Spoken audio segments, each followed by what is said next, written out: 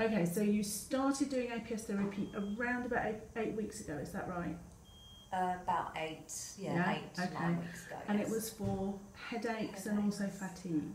yes, yeah? it was for headaches. Okay, so yeah, just tell me how it's been going. Yes, as um, uh, just before my holiday, I had an assessment, Yeah. and um, I'd found it had helped with my headaches Okay. immensely, and I So what, what sort of headaches were you getting? like sharp Okay. stabbing pains Right. in my head. Um, on occasions, it's almost knocked me sideways, Right. almost off my feet. Yeah. So it Um, comes on suddenly. It does. Okay. As fast as it comes on, it subsides. Right. Okay. But it take it sort of shakes me and makes me not able to move for a little while. Right.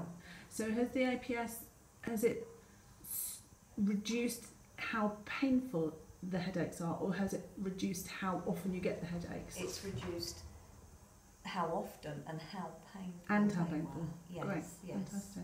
Right. Lovely. And did it do anything for your fatigue? It has helped with my fatigue. Okay. Yes, I don't feel quite as tired as Right. I was. So Okay. It's not improved as greatly as the pain As the in pain. my head, but it has helped a lot. Fantastic. And how often were you getting these head pains? Probably five or six times a week. Ow. Okay. Yeah. Really. So quite often. And how often are you getting them now? Um, in the last three weeks, I've probably had four, and they've not Mm. been very severe at all. Oh, that's great. So that's yeah. I'd Fantastic. it's fabulous. Okay. Thank you very much, Anita.